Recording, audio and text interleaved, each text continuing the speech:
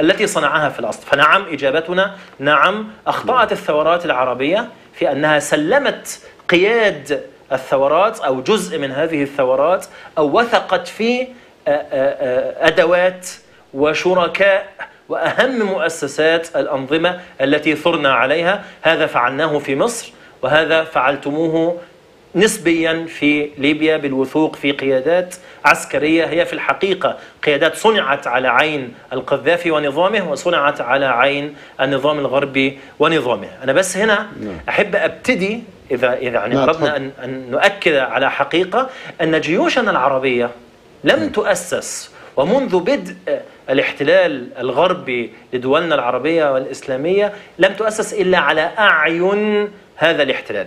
منذ جاء محمد علي إلى مصر وهو الذي بدأ في إدخال الاحتلال الأجنبي بالتمكين للفرنسيس والتمكين للبريطانيين وكانت السطوة في البداية للفرنسيس. الجيش المصري أسسه سليمان الفرنساوي ثم ورثه البريطانيون.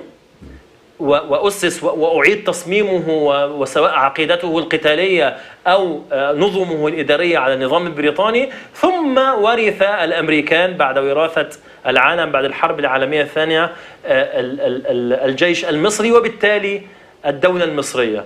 ضيفك الكريم يقول أن الجيش المصري دولة داخل الدولة. وهذا كان سابقا.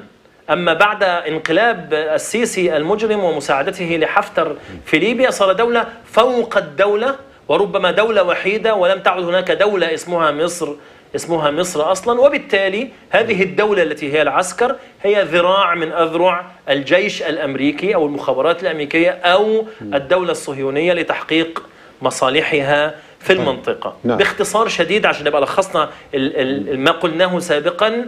هذه الجيوش ومنذ أسست أدرك الاحتلال أن بقاء الاحتلال بالوكالة عن من خلال هذه الجيوش والحفاظ على مصالحهم من خلال هذه الجيوش تكلفته أقل بكثير من الاحتلال المباشر. الليبيون ثاروا على الإيطاليين لأنه كان احتلالا مباشرا لكن الإيطاليين والأوروبيين ومن ورائهم مؤخرا الأمريكان اكتشفوا بقاء الجيوش العميلة يحقق مصالح الغرب بغير تكلفة المقاومة والجهاد من الشعب الليبي أو الشعب العربي أو الشعب المسلم. طيب